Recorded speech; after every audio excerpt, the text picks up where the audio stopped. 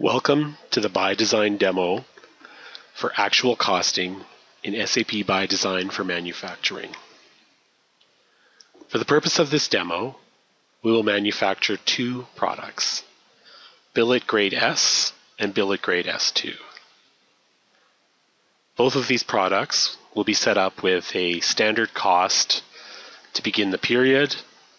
They will have overhead costs as part of the production order, and then finally an actual cost run to put in overhead costs for departments into the actual final finished goods.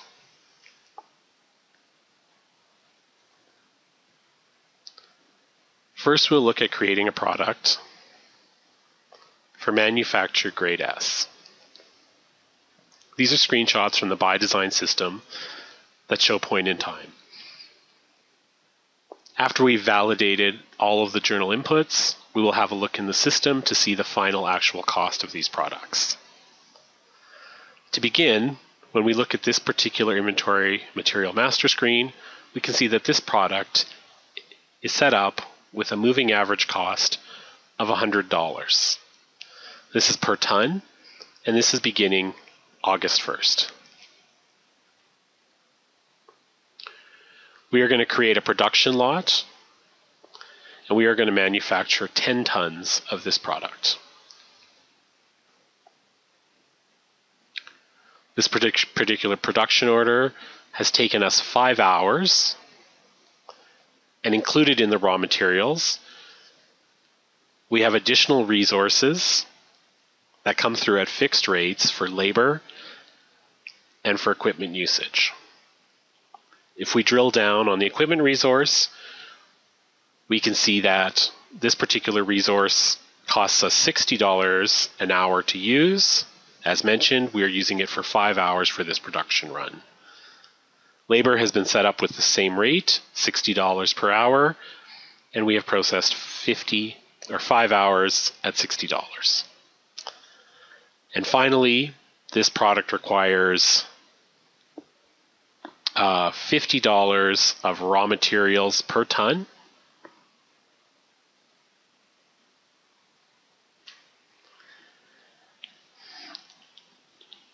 And once this production order is completed, we will see that we will debit finished goods for $1,000. That's 10 tons at $100 per ton. Let's have a look at all of those journal entries. So we look at the manufacturing process for grade S. We'll also look at the material costs. So we, you can see that we have purchased this material for $500. We've received it into raw materials inventory directly from the supplier.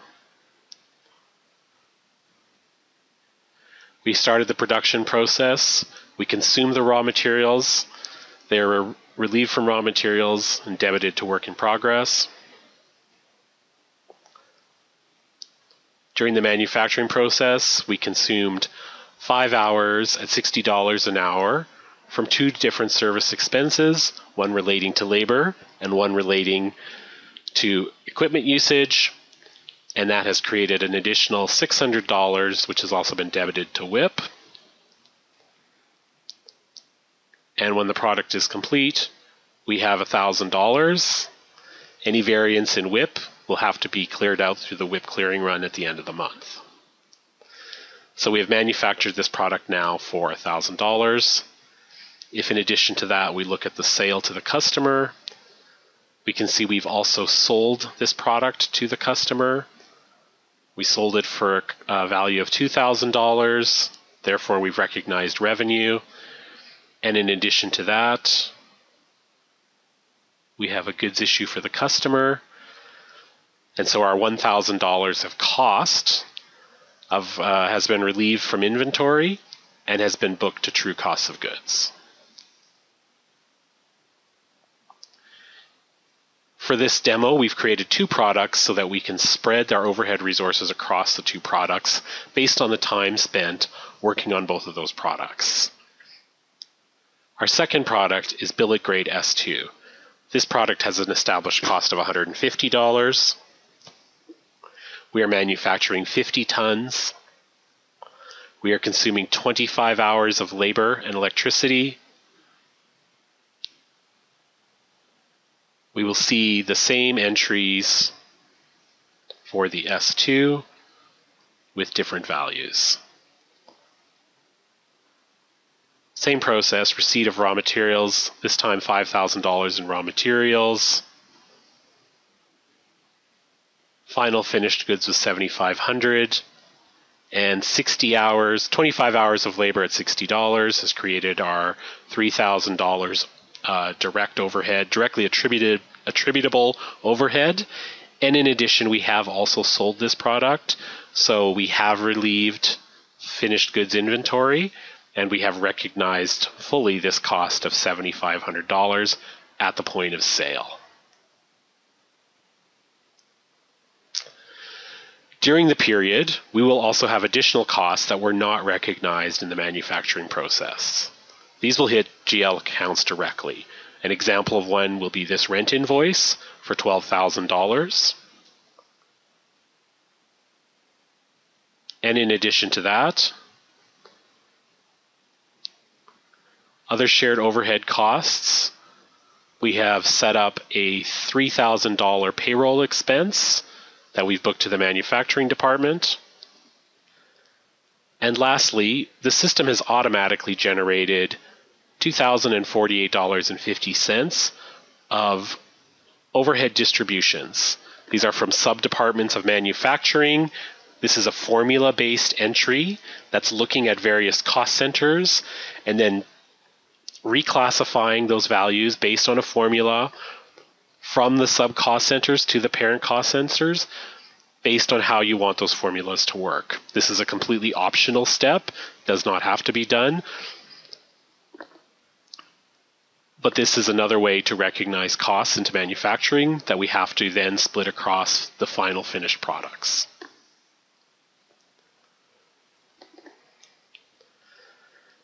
So that is our last step to do the actual cost allocation. The actual cost allocation clears out some service expenses and clearing accounts, but ultimately, the net impact is to the specific products. In this case, grade S steel has been impacted by $2,283.50 and the grade two uh, two steel has been impacted by 11,750. And we can see in both of these situations, the GL account is material consumption. If this product had not been sold to the customer, then inventory could be impacted instead. Let's have a look at a reconciliation to prove to ourselves that these values generated by SAP are accurate. If we go to the actual cost testing tab, we've created a formula to replicate what SAP is doing.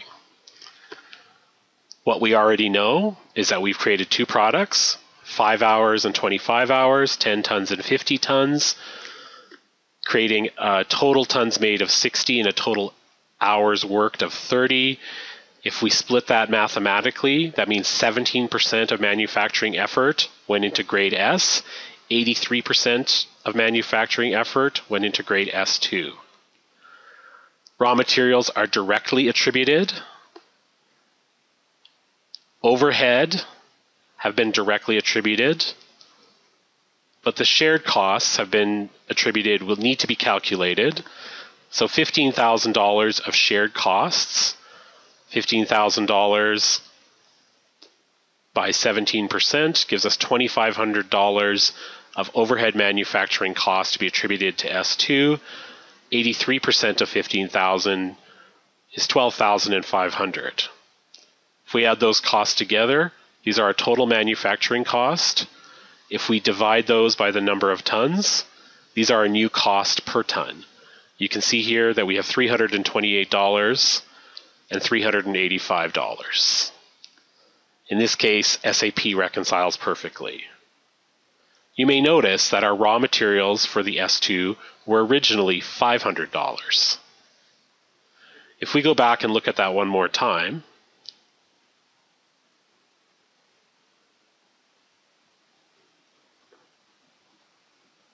sorry, material costs for S1, we received those raw materials at $500. That is what was consumed from inventory.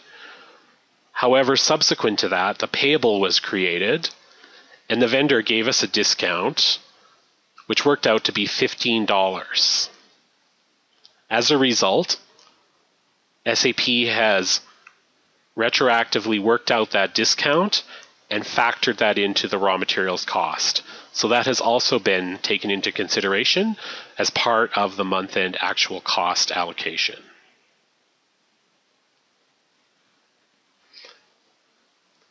These screenshots evidence that SAP has come up with the same period costs of $328 and then for S2 $385 that we've worked out in Excel. Let's have a look at that quickly inside ByDesign. ByDesign, we're going to go into the inventory valuation, the material actual costs. From here, we can search on any product that we've manufactured so we will look at our billet grade S. You can see that we've got two entries for billet grade S. In this particular demo environment, we have two sets of books. We will look at the US set of books. If we view this entry, we can see our 3,283.50 or $328.35 per ton. From here, we can also analyze those cost breakdowns. These values match what we calculated in the spreadsheet our material costs of 485, our overhead costs, and our service costs. We can also break this out by GL account. And we will see those same values by GL account. In this particular case, we've got our discount of $15 processing to a different GL account. In addition to that, we can click on the View All button. And we can see this represented as a hierarchy starting from the bottom are as our initial input costs, as well as all of our units of measure, building up to our final actual cost allocations, giving us our final value and any variances along the way. Lastly, let's have a look at the inventory material. Before we do that, we'll go back to the Excel screenshot and we'll have a look at it, the screenshot that was taken prior to the production process. Just a reminder that we had this product with an established cost of $100 per ton, valid as of August 1st. If we open up that same screen now, we'll open up this particular product, click on the View All, look at the Valuation tab, and you can see we have a history of our $100 for August 1st. But now we have a new established actual cost of $328.35 starting September 1st. Therefore, all production orders created in September will use an actual cost of 328 but will be impacted by the month end of September's actual cost adjustment once again establishing the new cost for October. And that concludes our demo. Thanks for watching.